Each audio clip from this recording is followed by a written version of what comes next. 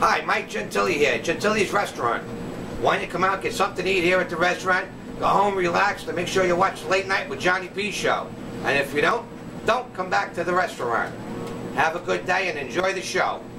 Hey, it's Eddie Trunk, and you're watching the Late Night with Johnny P show. Hey everybody, it's Ernest Thomas and Haywood Nelson from What's Happening? Yeah, you're watching Late Night with Johnny P on CTV. Hey, hey, hey. You heard? That's what I'm talking about. So, you don't got a week to hang out with them. Here's an hour with Johnny P.